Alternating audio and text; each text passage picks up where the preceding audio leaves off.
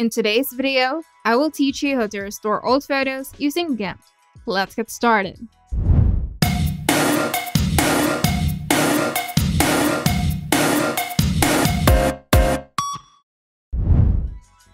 Start by opening GIMP on your computer.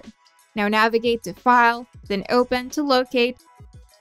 In the Layers panel, right-click on the background layer, then select Duplicate Layer.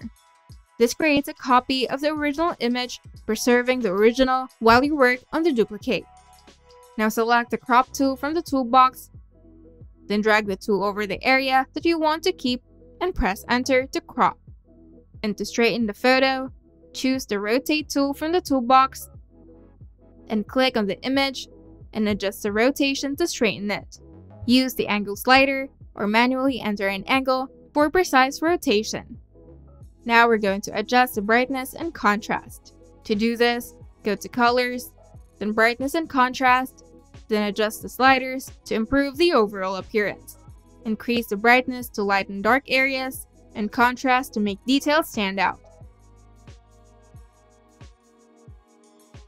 Now we're going to repair the damaged areas. To do this, select the Heal tool from the toolbox, then set the source area by holding down the Control key and clicking on an undamaged area of the photo. Then paint over scratches or spots to blend them with the surrounding area. For this step, you can also use the clone tool. To do this, choose the clone tool from the toolbox, and similar to the heal tool, set the source area, and paint over the damaged regions to replace them.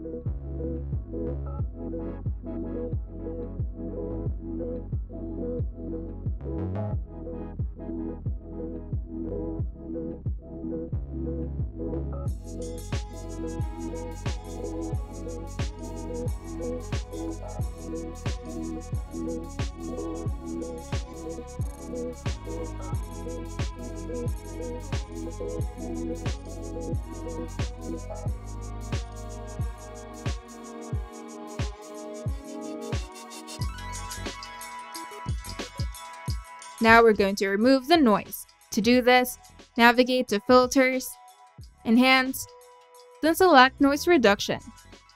Adjust the sliders to reduce graininess and noise in the photo. Then preview the changes and fine-tune the settings until satisfied. Now we're going to do some color correction. To do this, navigate to Colors, then Color Balance. Then adjust the sliders to correct color casts and balance the overall tones. Then go to Colors, then Hue and Saturation, then adjust the sliders to boost or correct colors. For this step, you can also use the Curves tool. To do this, go to Colors, then Curves, then adjust the curve to enhance contrast and balance the color channels. Now we're going to sharpen the image. To do this, go to Filters, Enhance, then Unsharp Mask. Then adjust the settings to sharpen the image while avoiding over-sharpening, which can create artifacts. And once you're satisfied with the restoration, save the image by clicking File, then Export As. Then choose a format like JPEG or PNG and select the location to save the file. Then click Export and adjust any format-specific settings as needed.